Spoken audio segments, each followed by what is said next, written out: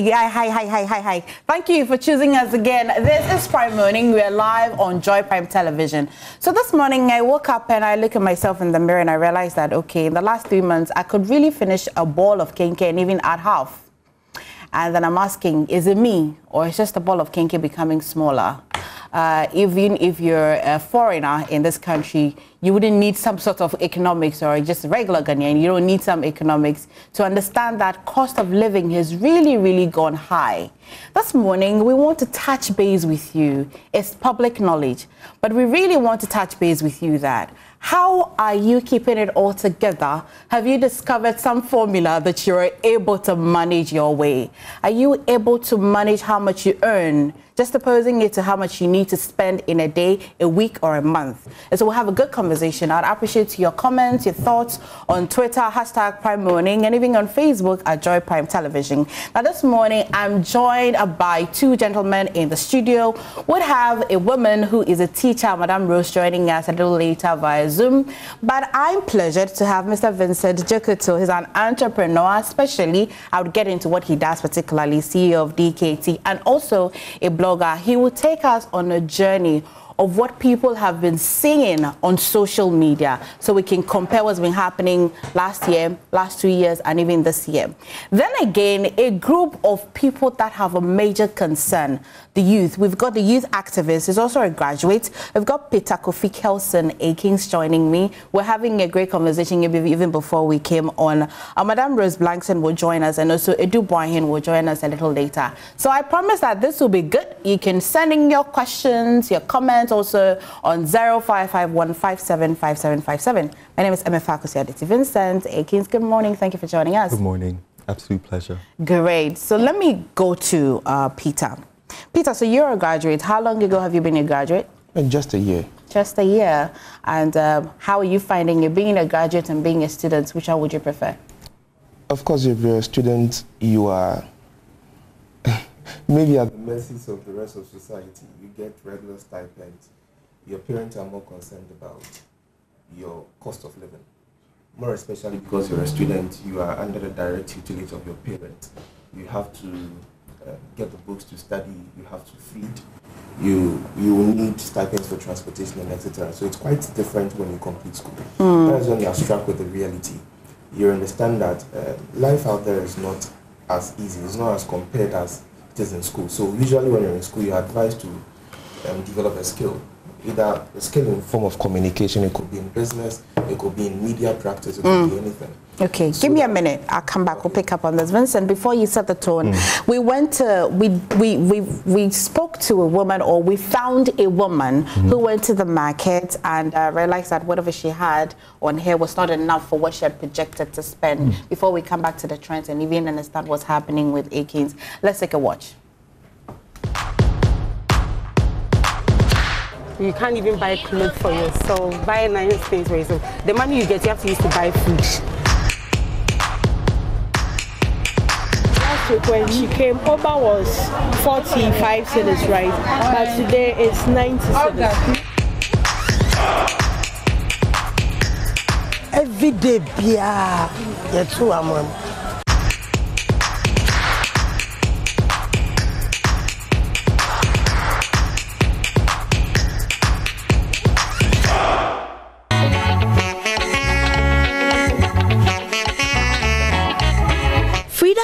Been roaming the Makola market all morning, desperately trying to get the best price deals. Where will I get onions at a cheaper price?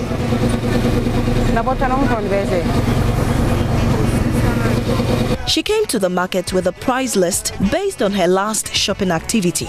Unfortunately, virtually every item on her list has become more expensive.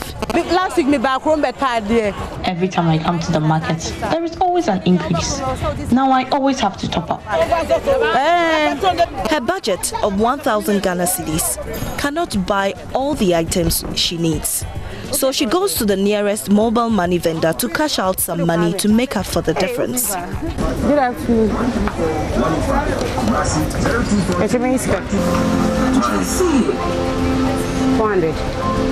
The surging food prices are hurting the finances of many homes. For Frida, 90% of the family's income now goes into only food. You can't even buy clothes for yourself, buy nice things for yourself. The money you get, you have to use to buy food. That's the only thing we are doing in the house. It's only food we think at the end of the day because if you don't have the food, the kids will worry you, and everybody knows that will know that you don't have. So when you have the little that money you have, you have to use to buy rice, oil, and those things so that it will be okay. Frida explains that to live within her budget, she had had to cut out snacks of her family budget and redesign her family meal plan to keep food on the table. This, I think last week my children didn't send snacks to school. Now this is what I'm doing. And maybe this week we won't take sugar. We will balance it with maybe pineapple juice and bread for breakfast. Like we are doing subtraction and yeah, that's what we are doing in the house. Because if I don't do that and I say, oh, I'll give them whatever they want, it's not going to be easy for us. Yes. Even my husband was thinking like he will pack his car and take petrol to work because he works at Tema and in a week he buy petrol like 900 Ghana. How much is his pay? You understand? Uh-huh. So it's not easy. Since last week, my children have never sent snack to school, but I used to buy it for them. But because there is no money and the, the things have been increased, we need to do subtraction and addition. Cooking oil vendors are agitated because of the rising prices. Every day biara yɛto ama every day biara na wei wei ɛyɛ ten cedis wei ɛyɛ eight cedi. Every day the prices of cooking oil goes up. The sunflower. It used to be sold for 10 cedis so, and vegetable oil was 11 cedis. But now it has risen to 19 and 21 cedis respectively. Every day biara yɛto de ɛnɛ ɛnɛ ewia yi koraa new price. Frida hinted that she had a particular vendor whose prices are reasonable, so we followed her. To her utmost surprise, goods here too had gone up.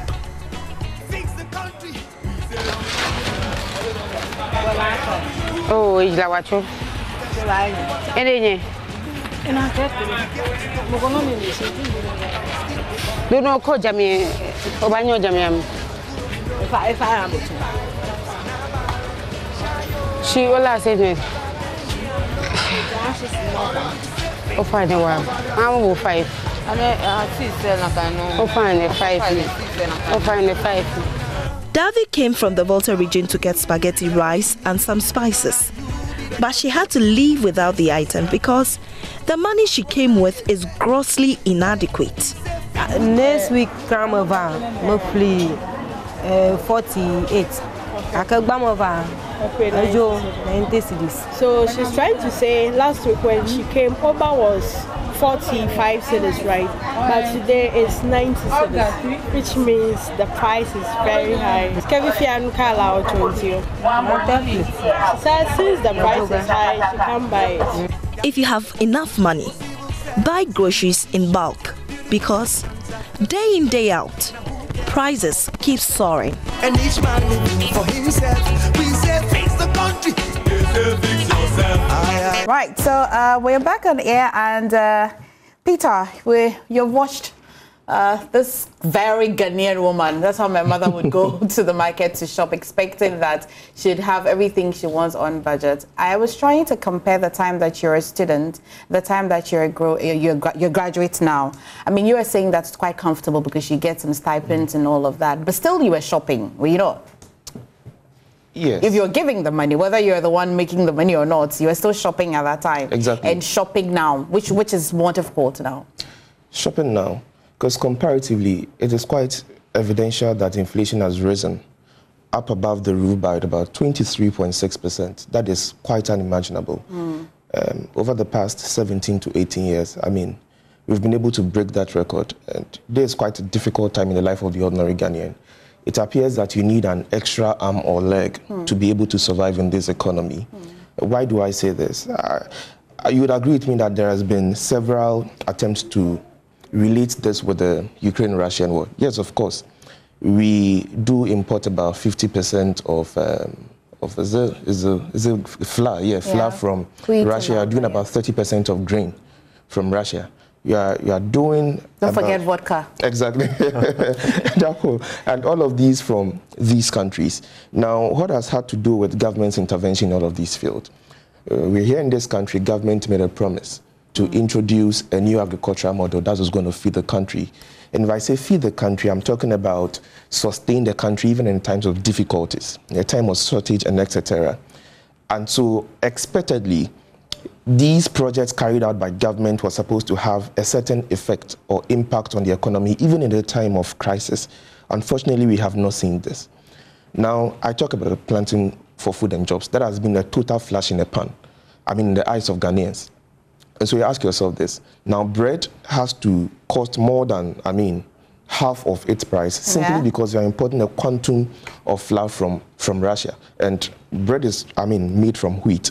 We talk about the fact that grains, wheat, and etc. These are things that literally could have planted them in this country. We talk about the price of maize. What and, and, and, and maize, maize uh, directly influences the prices of commodity because largely the typical traditional Ghanaian, I mean, setting or home has had to one, or one way or the other consume maize as part of their daily delicacies Staple, and okay. etc. So it is quite difficult. And how shocking it is is the fact that if you look at the other African economies, I mean, Ghana has a certain feature or characteristic to about 23 of other African economies that you can see that have similar features. Now, Ghana is struggling at the bottom with countries like Zimbabwe that is doing an inflation of about 96%, Sudan that is about negative 8. Um, you are talking about countries that have been in the ditch, and now you have to consider Ghana in the same bracket. And that is what makes it quite unfortunate. in The life Would of the ordinary Ghanaian. Would work our way uh, to what has caused it. I'll Okay. come back to what you studied in school, how easy or difficult it's been. But Vincent, talk to me as entrepreneur Hmm. and also as uh, somebody who's very familiar in, in the social media Mm-hmm. terrain. For uh, for an entrepreneur, DKT, what do you do particularly? Well, DKT Jokuto & Co. is a boutique management consulting firm. Okay. Uh, we tend to deal with a much more elite clientele with respect to high net worth individuals, government, a little bit of um, strategy for business as well. Okay. And so that's uh, our practice in a summary. Okay. Do you deal with some form of suppliers? Do you do you have to go into some sort of purchases and raw materials, anything like that, or it's purely consultancy? Well, absolutely. Consultancy would stretch um, across a broad number of expertise, and so naturally, we do tend to have experience with people who are involved in such sectors, especially in the import in, in the import sector, for example. Okay, okay. Um, but your findings as a blogger, what, what, what's happening on social media specifically regarding high cost of living? Well, directly from the point of view of an average Ghanaian family, what is clear is that they can't quite afford to feed their households, keep up with the cost of gas and electricity. Um, and that there's a very simple reason for that. Wage growth has failed to keep up to pace with the rampant inflation. What is that? Well, basically speaking, uh, from the point of view of the fact that you do have the prices going up, salaries are not quite matching up. As a result, Ghanaians can't save, and people have to borrow themselves into substantial debt. Okay, okay. Which one do you enjoy? Gain on social media or being an entrepreneur now, particularly Well, I between think- 2021 and 2022? I, I think I think both both are intertwined. Social media has just um, more or less decentralized the power um, that perhaps only a few institutions had, and now allows us to directly reach um, a demographic that ordinarily we may not have been able to touch base with. Okay, and uh, these findings of how people are not able to uh, earn how much they're spending, was it the same in 2021? I ask because 2020, you know, trickled down with COVID and all the challenges into 2021. Hmm. Your findings as of 2021 and this year, is it very different? Well, fuel is much more certain to rise than the sun is. And what, and what inflation does, especially from the point of an entrepreneur, is in as much as you have you know, the employees who form the backbone of every organization, rightfully demanding salaries, there's a much bigger problem of planning. It's difficult to project when prices are on the rise, particularly, you know, given the kind of situation we find ourselves in.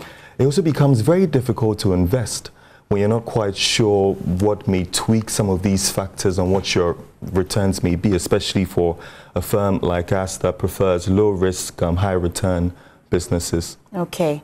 I'm quite curious about you as a person. Mm. I'd come to you, your favorite food, how much it's costing, and all of that. But uh, Peter, so what did you study in school? Well, I did sociology. Okay. University of Ghana. And uh, sociology, uh, what's the end game for it? Well, and so I have an inspiration in public policy uh, to further to do public policy. So that is what I really want to specialize in. And so definitely, um, first degree is just a foundational block to what you want your future to be. Yeah. Okay. And um, a year ago and now, how easy or difficult has it been for you to uh, get a job? A year ago, yes, of course. You You've been a graduate for a year. So, yeah, I mean, exactly. how easy or difficult? You you you admit fairly that the state of you know graduate unemployment Mm. is really a serious issue in the country as of now. Youth have had to um, face the stark reality of how difficult it is to come even up with a job. You know, I spoke about entrepreneurship even before the program did start. Mm. You might have the most brilliant, the most outstanding of an idea, but then you need a certain push. You need a certain system that is able to support a business growth. Unfortunately, we do not have the climate as of now. Vincent is a business person. He spoke about the fact that it's hard to be difficult to even invest in the current economy because clearly, whenever there is inflation, the value of money erodes. And so, even starting as a graduate of an entrepreneurial idea is quite difficult to live with.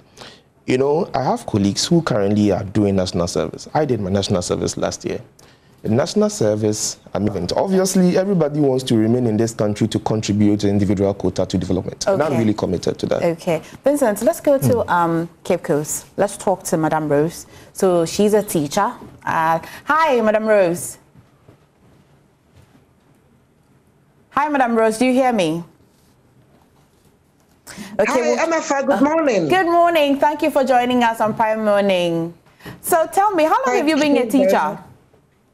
Yes, but um, a point of correction. I I am no longer a teacher. I left the teaching field less than a year. Why?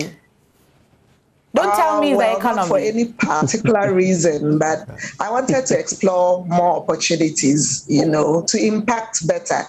Okay, So- is this to say that you're unable to impact as a teacher? I said to impact better. Better. impact as a teacher, I haven't taught for um, over 20 years. Oh, great. I left Okay. training college in 1998. Okay. So okay. So I that's just about a year ago since you stopped being a teacher. Yes, just less than about a year ago. Okay, but I would so- say November last year, so even not up to six months. Oh, great. Then it's still good that I talked to you. So at the time that you were a teacher, would you say that you were earning fairly enough to take care of yourself and your family? Um, honestly, Emefa, uh, nobody um, in Ghana, no civil servant or public servant in Ghana, uh, speaking truthfully, would say that our earning from the government takes us even to the junction of our homes, not to talk of taking us home. Um, it's never been, and I, I- doubt it ever will be. Um, having been a teacher, a parent, um, not only to my children but other children, um, I felt it. I've, I've, I've done so many things just to survive. Apart from being in the classroom teaching regularly, uh, most of us teachers were doing extra classes, going to people's homes to teach children private time. Um, I personally had to support myself with being a taxi driver. Yourself? Um, along, yes. Okay. And I dare say I- I was the first female taxi driver in Cape Coast. a lot of people get surprised when I talk about it. But I had a taxi with the inscription Ochesu, meaning Providence. Okay. And yes, and when school closed, if I don't have any classes, I honestly didn't enjoy that post school classes, that's the extra classes, hmm. because I was like, if I've given you enough in the classroom, why do I have to go the extra mile after school to keep you, to teach you more. So I didn't really get involved in the extra classes. That is not the regular school extra classes, but the personal, individual extra classes. But I was a taxi driver. Um, I had to prepare ice kenkey to sell. I had to do soap sobolo, liquid soap. As we speak, I'm still into beading. I do bead work, um, other things. We mark, we teach um, on the distance program, do some invigilation, do some marking here and there. And this is all because you were unable to earn enough as a teacher to take care of yourself and your family. This is it? Not only as a teacher. And I, you see, a lot of the times we want to zero it in on the teacher. Mm. Yes, the teacher is usually not fairly treated. The pay is quite poor. But it's not only the teacher. Almost all public servants and civil servants don't earn enough to take care of their families. That woman who said the husband is planning to park her ve- his vehicle mm. to board trotro to and fro Tema. Mm. I don't think the husband is a teacher. I doubt.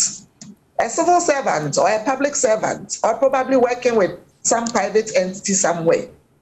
We are not paid well everywhere. But probably it, it might not be the fault of anyone. I, I wouldn't want to say that someone has decidedly, uh, you know, taken pains to see people suffer. Okay, Auntie so let me let me talk to you as the bead maker. Then it means that you're in some form of entrepreneurship or some form of business currently. Yes, privately. Okay, so I do that alongside my official work. Okay, great. And so currently, how is the cost of living impacting on that particular side of business for you? I mean, if someone is thinking about what to eat, you go to the market, sardines that you bought three days ago was four cedis, 60 pesos. Mm. You go the next day and it is five cedis, 50 pesos. You don't want to wear jewelry, you know, except when you have something extra. So mm. the demand is very low. Okay, is it's this very low. is this forcing you to want to uh, rethink the type of business that you're running? Hmm, for now, honestly, time is not really on my side. Where I've branched into is a 7:30 to 4:30 plus work, mm. unlike when it was 7:30 to 2:30 work. So time is not really on my side to be exploring too many things, and I think I've I've done enough. I, have I've grown and I need to relax a bit, not to. The children, the last one is in the university first year. So I think I don't need to really stress myself so much. And the young people I've groomed and trained with these skills how to prepare spring rolls, crunchies, liquid soap, sobolo, ice kenkey, beads, and all that. I, I, feel they should also take it up because if we continue ah. to take the market, mm. we will not be fair to them. Oh, that's really something. Yeah. The market to be choked, and they won't get the opportunity to. Even um, even in this uh, level of standard of living, you don't you don't mind. You don't want to take a little bit of that income.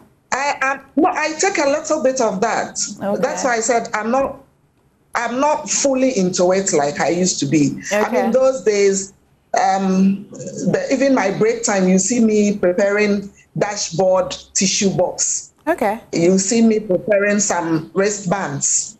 I mean, conscientiously. Okay. But now I've decided to, you know, it's difficult, but hey, I I have decided to even say that I'm dieting so that um, I cut down my meals. I used to buy these packed fruit juices. Mm-hmm. I love fruit juices a lot. So I used to buy the packed ones mm-hmm. in cartons and then I keep them a day. I can drink one or more boxes. But I stopped. I prepare them at home.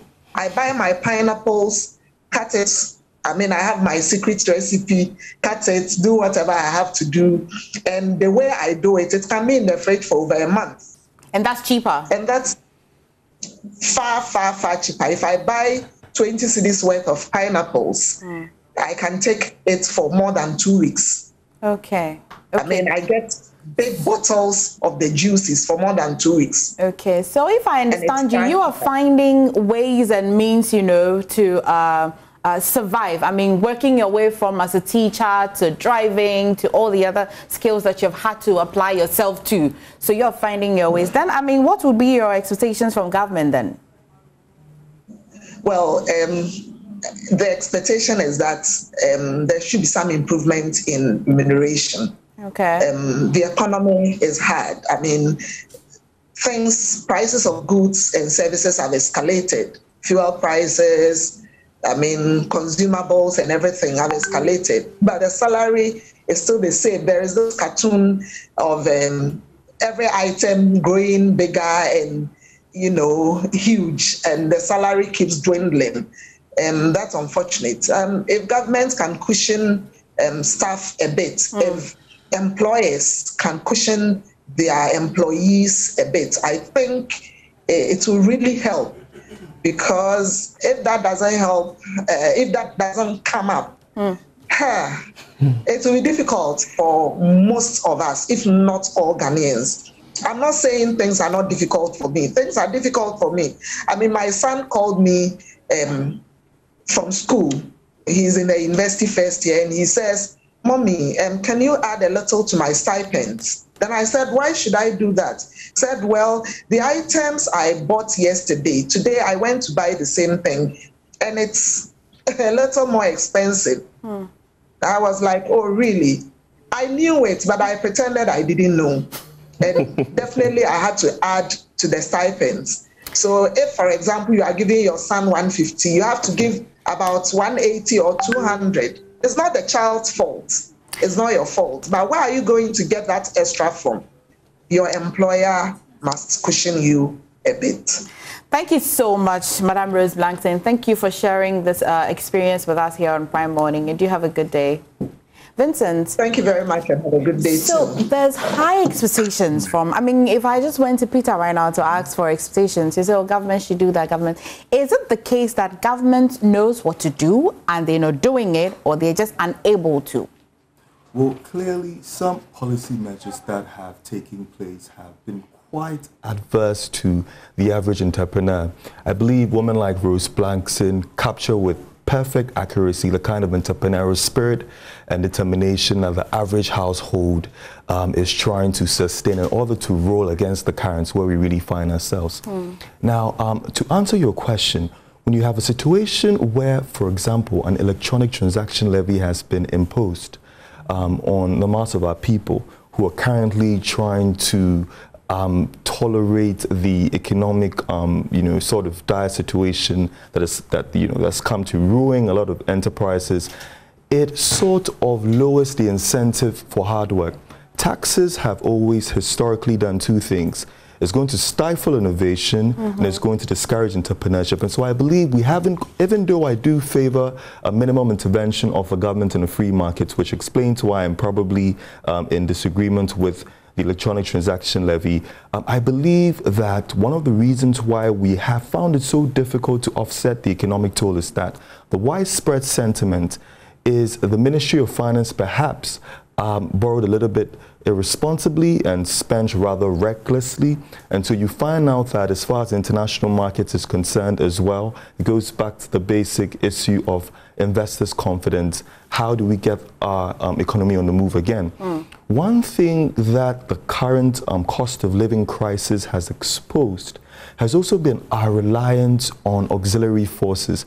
We okay. quite clearly haven't been able to harness our domestic economy in the way in which um, it can, you know, guide us through times like this where we can rely on indigenous um, goods and services. And so that's been a matter of difficulty. Okay. Okay, but is that not why the government mm. uh, had to impose the taxes? They said that it's one of the easiest way to, you know, gather some revenue because they've been explaining that uh, the existing mode of collecting tax, not too many people are in the, shall I say, formal sector for them to be able to collect. So collection has been difficult, so they decided to widen it up. Is it is it not a good step in the right direction? I'll stay well, with you. Well, firstly, I don't think it's quite um, the position that Ghanaians are opposed to tax taxes. What it is, is Ghanaians have issues when it comes to accountability. People do not necessarily see where that kind of cash is going to and how it leads to active um, development. But from a different school of thought, in times like this, one would assume the government would want us to have more disposable income um, so that households and enterprises would be able to independently um, assert themselves financially and solve some of these issues head on.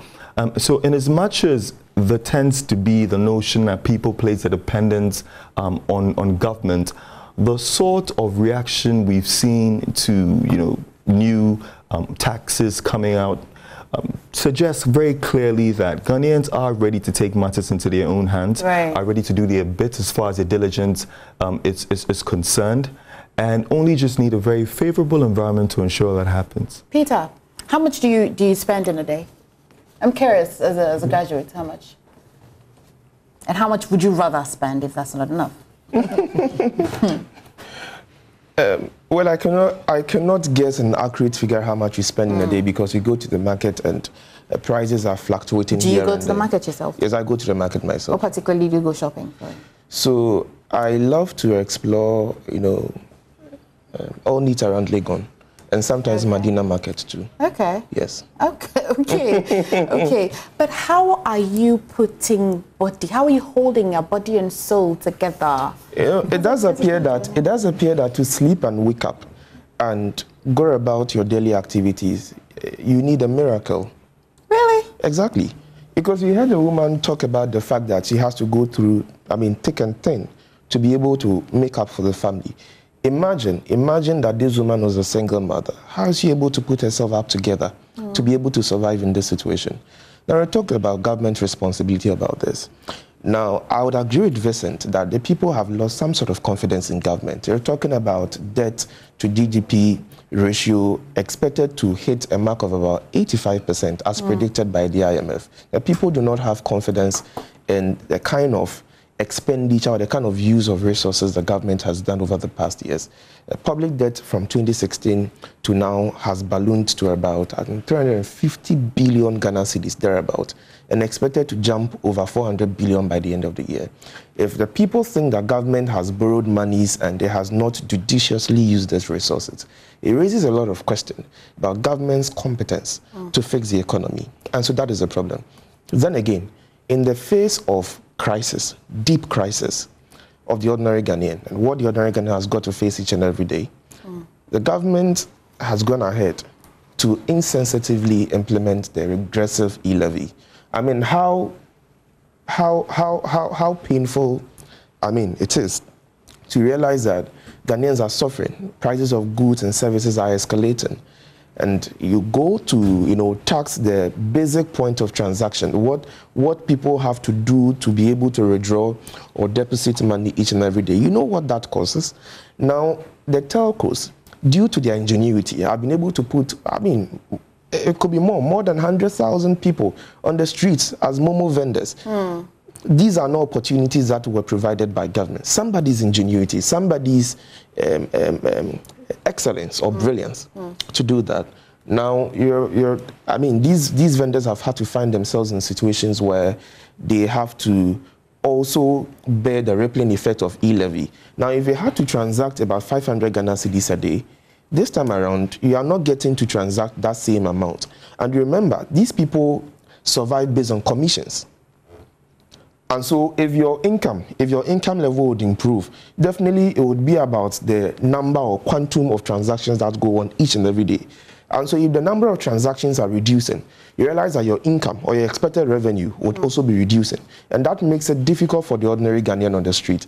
And so across Momo vendors, fisher folks, drivers, and even we talk about the fact that transportation has even got to increase by 80% Yeah. from January to date.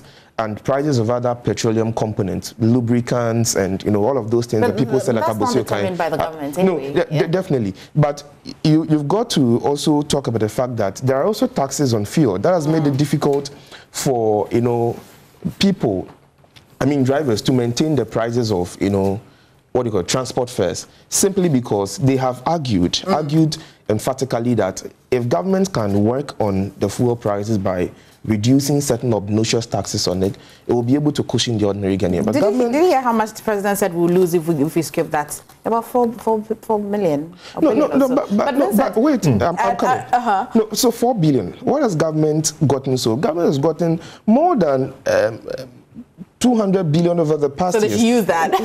what have they done with it? Vincent, what's your favorite meal? Do you eat kenkey? I, I eat banku and tilapia hey. religiously, and I much, much rather prefer akple. okay, so still with tilapia. Absolutely. Hey, but how much is tilapia? When was the last time you had tilapia? Well, it, as regularly as I as can. regular. So yes, did you have absolutely. tilapia yesterday? Well, you know, that's that's. Please, how much is how much did you get it? It depends. And where? It, it depends on the size. I I've got a brilliant spot at a hidden corner in Newtown that gives me the most sumptuous tilapia you can And is it standard find. price? Has it has the price changed from 2021 The to now? size has changed. the size has changed. Okay. But look, Emma, for what it is is it doesn't really matter if you're at a plush rooftop bar swilling champagne or if you're at your favorite, you know, tabletop tilapia joint somewhere in Anyako. Mm. Um, the, the one message that runs through all of it is that Ghana is boiling. Yeah. Right. And um, when one reaches a point where, especially for young people, the whole technological advancement is being, um, you know, you know, um, distracted by, by, by taxes, where you know it's a, it's a popular platform for people um, holding their businesses and moving those ideas forward.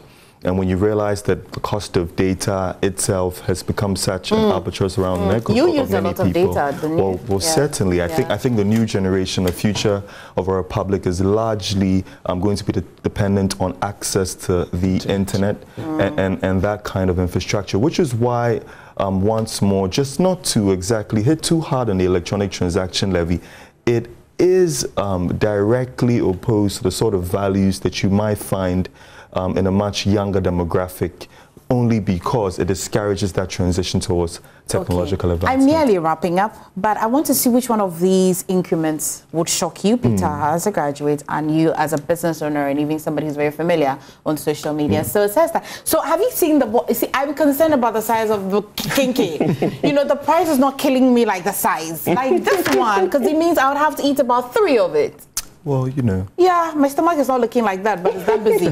so it's so from 2021, a bowl of kenkey was, I mean, one cedi. Sometimes you find it one cedi 50 pesewas, but it's got 100% increment, and it's two cedis now. This, I mean, two Ghana cedis. And fried fish, some people, I hear if you buy it around East Legon, it's three cedis and three cedis. the location is everywhere. So it doesn't matter, like you said, no, whether plush or. location matters. Uh, okay, and it says that, but this, this fish is too poor though. For somebody who's coming from the Volta region, why would I want to buy fish? This one, one cedi, 50 pesewas, now three cedis. Vincent. Well, clearly, the size of the fish even shows that um, the, the blue economy and our and, and, and our aqua resources are feeling the pinch Oh of, gosh, of as well. Vincent. okay, but the loaf of bread, because in the worst scenario, you can just get a big loaf of bread and you and your family can just have it and you can drink water in it. But now, if you cannot afford the loaf of bread, what would we do then? Because this size, which was 10 cedis, is now 15 cedis. Wow. Which one of you likes bread, Pa?